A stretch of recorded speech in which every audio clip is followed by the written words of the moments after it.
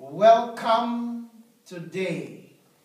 This month of February, for some of you around the world, you were born in this month. You're celebrating your birthday.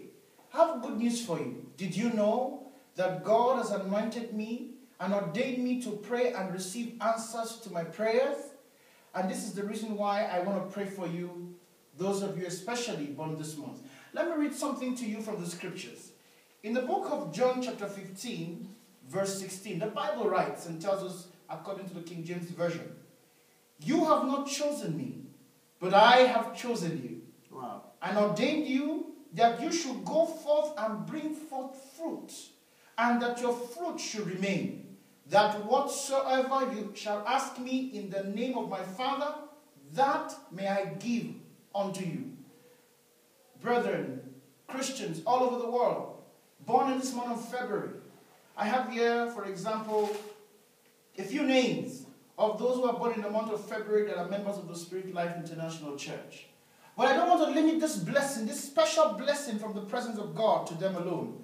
I want to use them as a point of contact to those of you around the world. Are you sick? Are you in pain? Are you challenged? Is there trouble? Are you wondering whether your dreams shall come true in this world? Are you challenged by the difficulties you have gone through? Are you born to a family without opportunities and, and the future is bleak for you? Hear me today as I pray for you. That will change. Join me right now. Stretch forth your hand, whether you're watching me on the internet, in your room, in your car, on your device, on your telephone. It doesn't matter. Just connect with me right now in prayer as I release the power of God over you. And so, Father, in the name of the Lord Jesus Christ, I pray for everyone who is under the influence of my voice right now. I pray that your hand comes upon them, that their destinies are changed.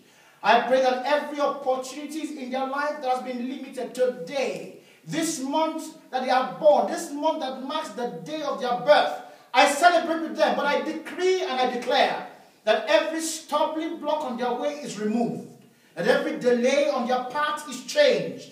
Every limitation on their journey in life, Lord, is reversed. And I release the power, the anointing of God that transforms, the anointing of God that delivers, the anointing of God that changes, that transforms, that heals, that restores over your lives in the name of Jesus Christ. You are listening to me right now, and you're a young lady. You are in front of your computer. You have not been able to do well in your exams and you're very concerned, I pray for you right now that the wisdom of God will come upon you. In the name of Jesus Christ. You are a mother and you're worried about your child who has been having so many problems in life. You're not sure what to do because he's so drunk, he drinks, he's a juvenile delinquent. I pray right now, wherever he is, that the power of God will come upon the anointing, will capture him and bring him back to Christ in the name of Jesus. I pray also, Lord Father, for this young man who is listening to me right now in the United States of America. You are Indian by culture. You're born Indian, but you've lived in America for some 22 years now. And you're not sure what is happening to your life. You are broken up with your family, your life is in disarray, and you're listening to me right now by a mistake. I pray that in the name of Jesus, that the hand of God will overshadow you even right now. And everything that you have lost, you're going to regain. You just lost your job. You got a letter now that says you've lost your job. I pray for you. Listen, God says you're going to be recalled back to your office. And for every one of you who connects with me this evening, I pray in the name of Jesus, your life is transformed. Enjoy your birthday. Be blessed in the name of Jesus.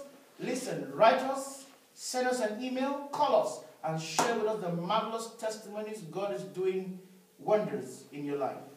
In the name of our Lord Jesus Christ, amen.